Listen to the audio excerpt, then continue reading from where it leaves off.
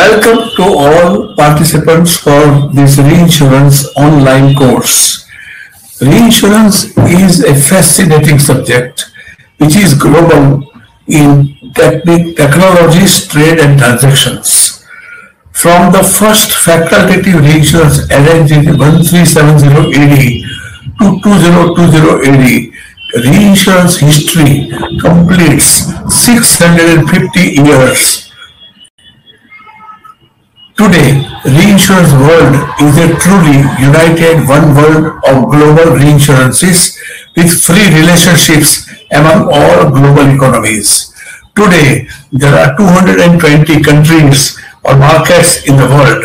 Before COVID-19 era, the global insurance premium are US dollars 6,292 billions, out of which life premiums are US dollars 2916 billion and general insurance premiums are US dollar 3376 billions.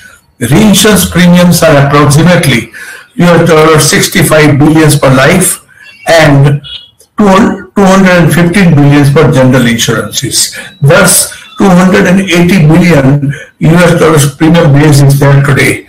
This historical growth is the result of rapid economic developments nationally and internationally, globally from 1945 to 2020, about 75 years. From 1945 to 1965 was a period of countries of the two world getting political freedom without economic independence. It was a period of economic independence without political freedom. It is very interesting to learn lessons from the past history so that we do not repeat past errors, blunders. The resources for this brief sketch of historical information are C.E. Golding, History of Reinsurance by C.E. Golding in 1927, Lloyds of London by D.E.W. Gibb in 1957, History of British Insurance by Rennies, Reinsurance by Professor R.L. Carter, Sigma Reports of Swiss Re and publications by Munich Re. Landmarks in the history of reinsurance.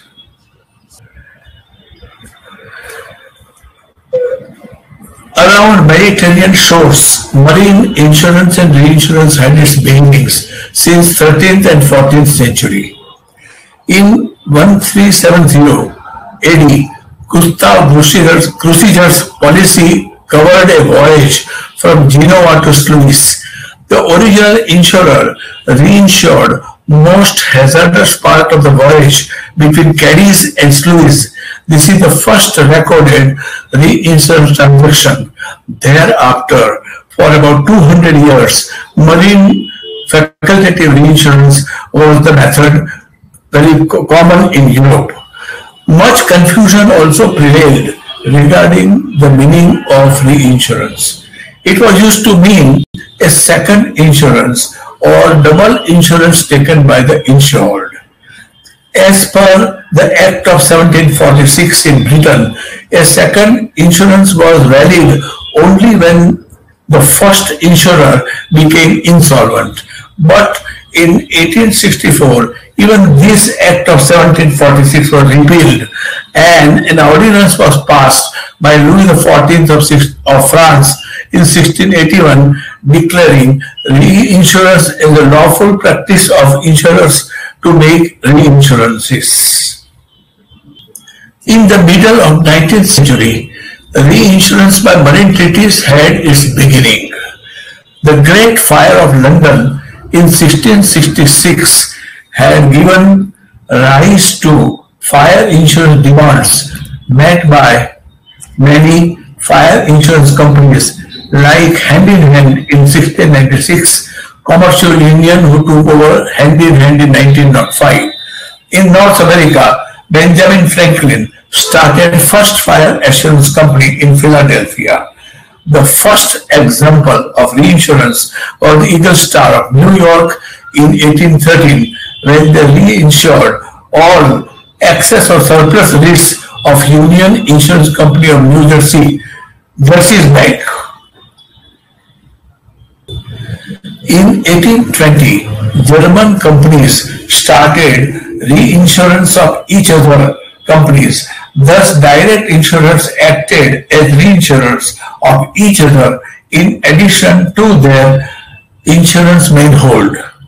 In 1824, La Nationale concluded a fire treaty with an English company of the Imperial Fire.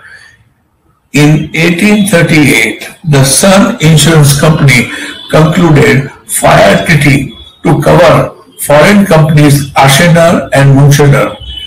Between 1880 and 1890, reinsurance treaty clauses for retention, commission rates, exclusions of perils, arbitrations, etc. evolved the structure of the reinsurance treaties.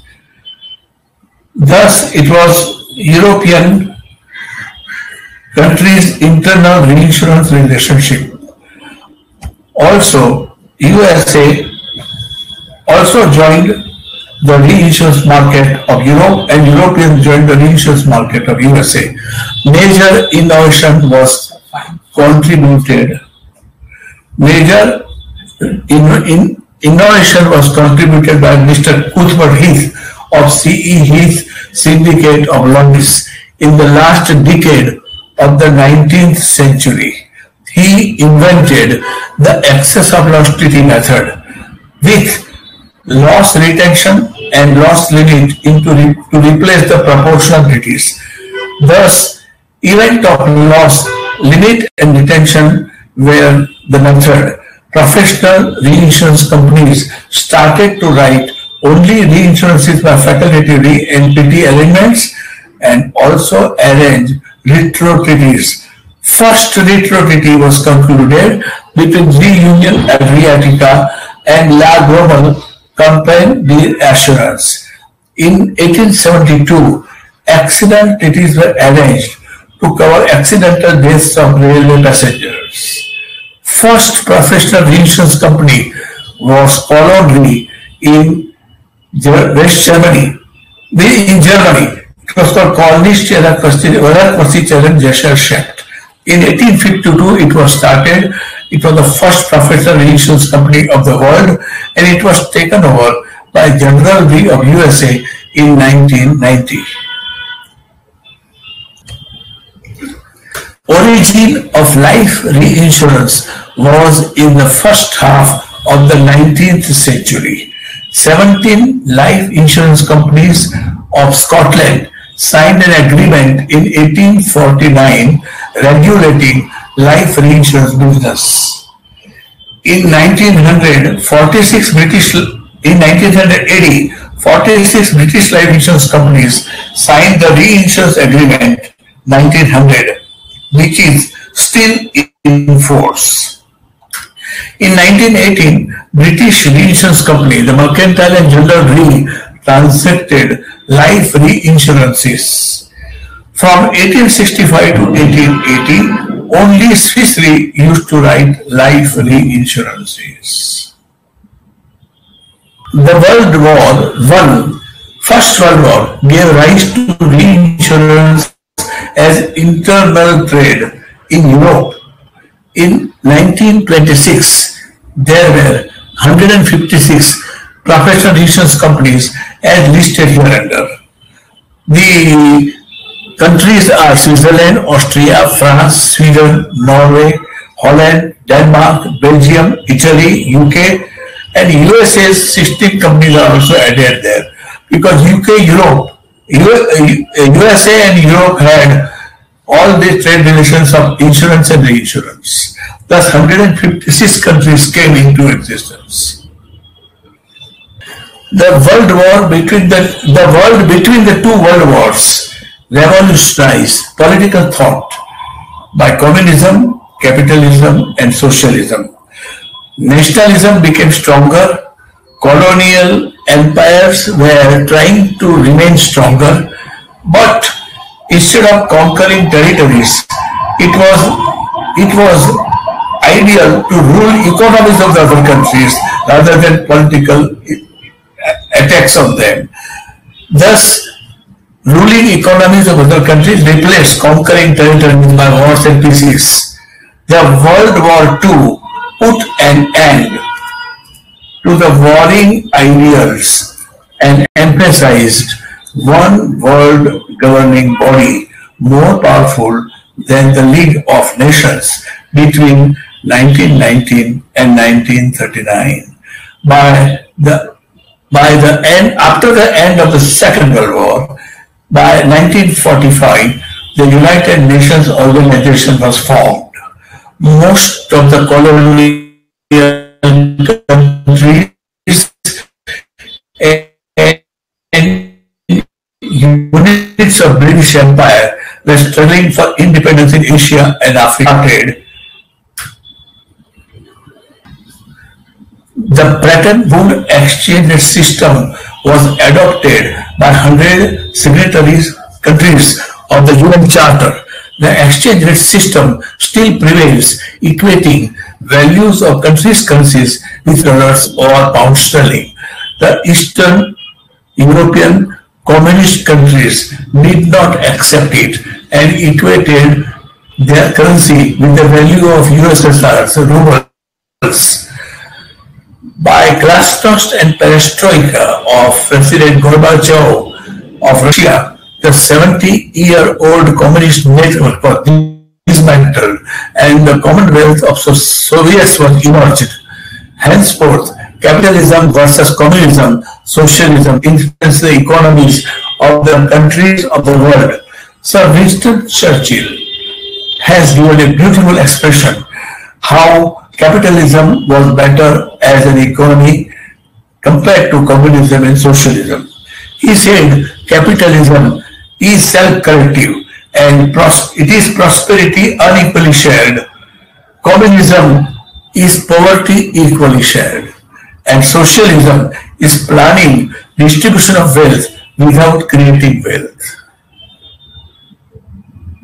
Cold War era ended with Russia and the Eastern European countries joining the United Nations chart, uh, system or World Bank and the International Monetary Fund and also signed the WTO treaty by uh, in, on on 1st January 1995. Germany was united, Berlin Wall was broken. It was a, it was a period of communism as a supreme economy, uh, supreme principle of economy development in the countries.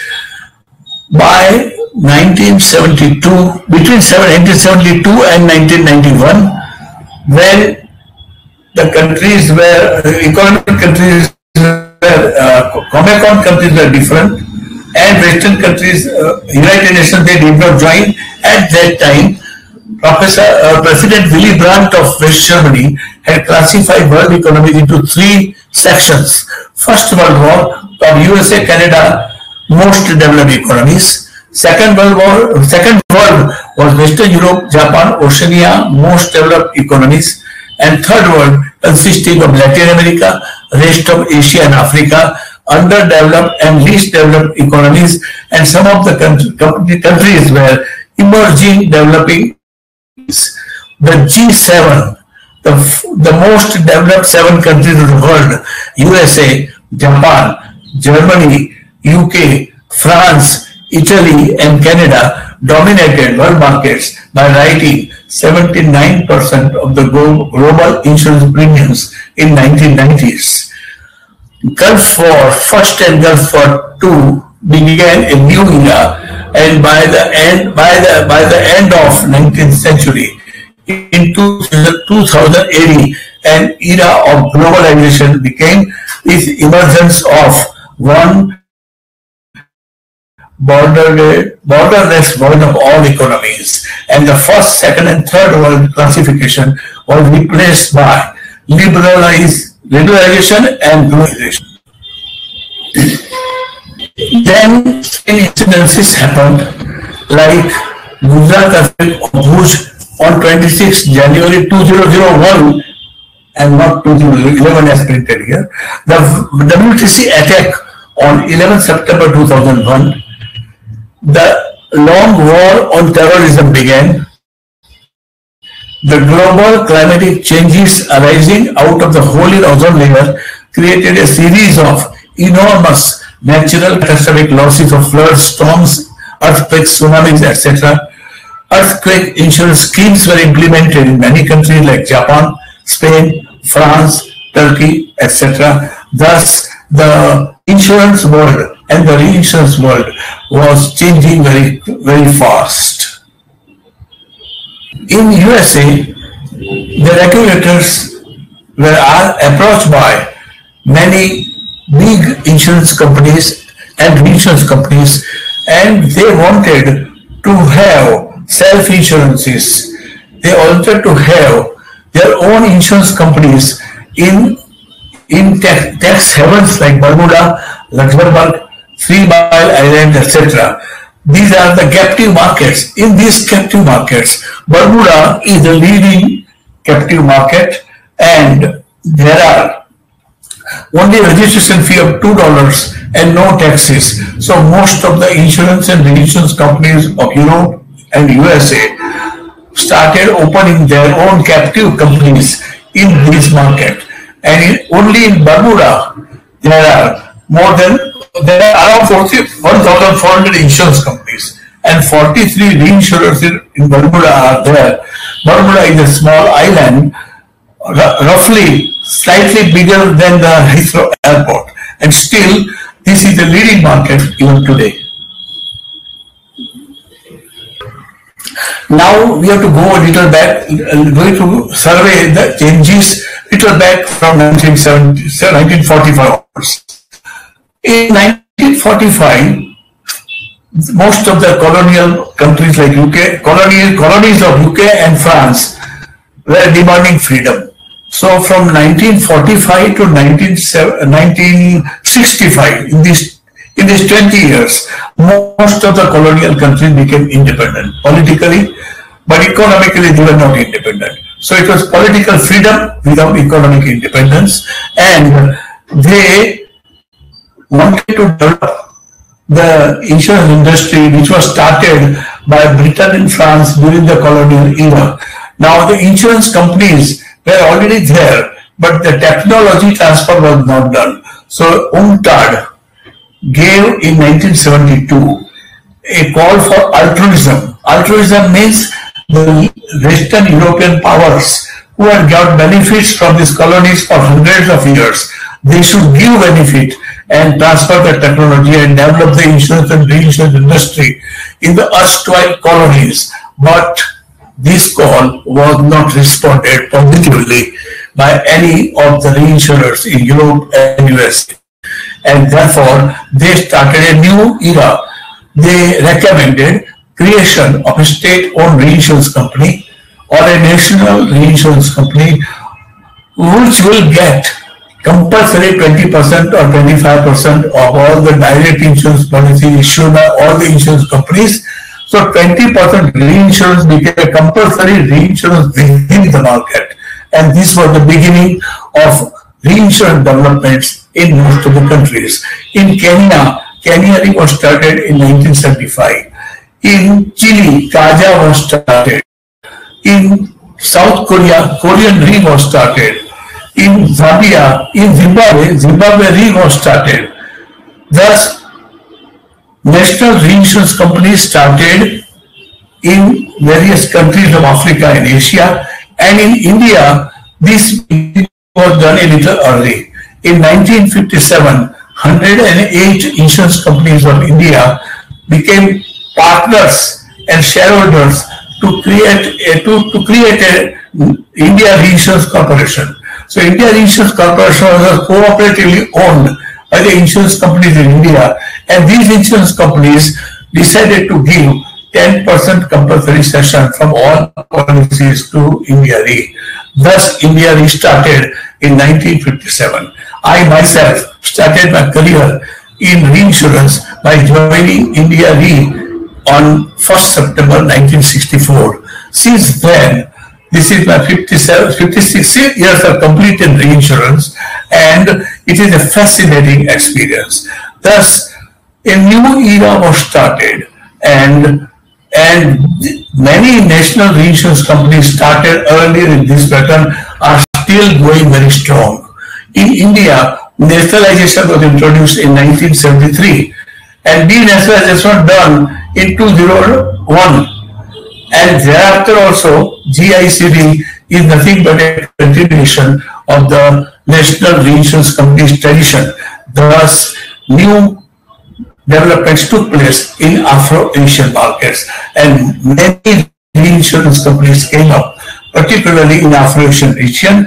In Brazil, IRB Brazil was also a big company. In Mexico, also Seguridad Security was there. Thus, national reinsurance companies developed everywhere in the world. As I mentioned, Kenya Nigeria Nigeria, Egypt Re, Egypt, and GIC Bhutan Bhutan is the latest development. Nepal is started only three, four years back. Malaysia is in Malaysia, and thus uh, all these reinsurance companies started again in Africa. Regional reinsurance companies came up. Africa was was formed by governments of 45 countries in Africa. And these 45 countries became the owner of Africa and all the 45 countries had to give 5% treaty cession, reinsurance treaty cession of their business to Africa And Africa started in the head office in Lagos and it is today the biggest and A-rated reinsurer in Africa. After WTC attack losses of 11 September 2001, these Afro-Asian reinsurers provided alternative reinsurance supports. These companies were not given importance and they were considered as medium size or, or not very highly rated reinsurers, but they were most reliable. And the change came after WTC attack losses because WTC attack losses were $88.5 billion and and 19 major reinsurers of the Western suffered huge losses. Most of the global players like Swiss Re, Munich Re, and St. Paul Re, etc., etc., had suffered down, downward, down, downward grading of the security rating. They lost their three, eight, AAA plus rating by Standard and Poor, and they became AAA minus, and thus they became weak, and many of them had to close down their shop. Munich Re suffered heavy losses in the 125 years history at that time. And this is how a change came. So these reinsurers were not left, they were not very strong to accept Afro-Asian business. So the regional reinsurers in Asia and Africa, led by reinsurers like GIC Asian Re, Singapore Re, South Korean Re, etc., etc., they started giving support. And thus, these medium-sized reinsurers became important after 2001. Today, these nine major reinsurers of the Afro-Asian region are equally stronger and they have a large share of reinsurance business in Afro-Asian markets. Today, there are 200 markets in the world. World population is 7 billion and USA is still the wealthiest national wealthiest nation after recession of 2009, 8 and 9. They have almost 24.75% share of the global GDP of 87 trillion dollars. China is now second, but it is half in the in the wealth percentage of USA. Today, global premiums as per SIGMA reports of 2019 are 6292 million dollars and 280 million dollars are insurance premiums. But we have to take, we have to understand that this data is systematically provided by Sigma reports of Swiss Re, which is most reliable, which is regularly published every year in the month of July, June, July, and the research department deserves their compliments from all the students like us because they started this giving such data from 1965 onwards. In 1965, I remember when I joined India in 64, in 1965, the world premium was only 39 billion dollars and reinsurance premium was only 5. Now, from 1965 to 2019, we are having 65 million life, 65 million life reinsurance premium, 215 million non-life premium, and the direct reinsurance premium is 6,292 billion dollars. 6.3 trillion dollars economy is covered and controlled and uh, advanced by the insurance and reinsurance industry. Therefore, it is saying that insurance and reinsurance are parameters of economic development of all the countries of the world. Brief history of professional reinsurance brokers. Lloyds of London have an inbuilt Lloyd's broking system for insurance and reinsurance since its inception. Not a single transaction of Lloyd's is done directly. Everywhere there is a direct, there is a Lloyd's broker involved. All transactions of Lloyd's till date are through brokers and only through brokers. The first professional reinsurance broking company as funded by Martin Hexner in 1865 was there. It was called Hexner Gottlieb in 1877. It was taken over by Sterling offices. In India, the first professional reinsurance broking company was started by legendary Mr. J.B. Boda in 1943. Today, they are lead brokers in Afro-Asian markets. Global regional brokers like Aon, Marsh, Willis, etc.